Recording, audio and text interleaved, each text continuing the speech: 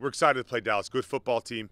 Um, and uh, we got to play the complementary football we've been playing offense, defense, special teams. Um, we have to do that. We got to turn the ball over. Uh, we got to protect the football.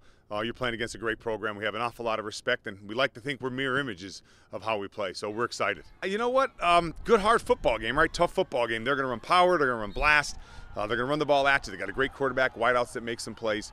Um, so we got to play great defense. And offensively, they're very sound, playing under, doing certain things, cover two. So, you know, we, we have to be prepared. Um, it's going to be one of our toughest uh, challenges of the year.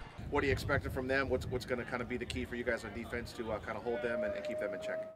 I think if our line keeps pressure on the quarterback and uh, our DBs behind us and linebackers making plays behind us, we should be in shape to go for a little run.